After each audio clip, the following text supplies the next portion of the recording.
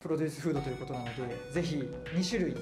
この中から選んでいただければなと思います。フルーツはフルーツがいっぱい乗ってるのが好きなのでインスタとか写真撮ってくれる人もこれだったらうん。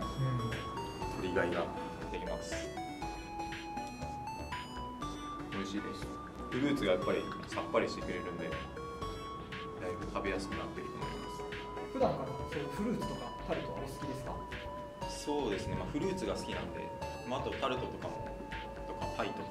そういうのも結構好きなんで。じゃあ今回はフルーツとタルトの組み合わせっていうのは？僕にとっては最高です。えーは乗せてほしいみたいな梨が一番好きかもしれないですけど。梨をプラスワンというところでよろしいでしょうか、はい。あありがとうございます僕のひろあきのニコニコタルト僕の好きなタルトの上にプラスさらに僕の好きなフルーツがたくさん乗ってて本当甘いところにフルーツのこうさっぱりした感じがちょうどあってすごい美味しい商品ですしさくらんぼの方は、えー桜をイメージされて、まあインスタ映えにもなると思うのでぜひ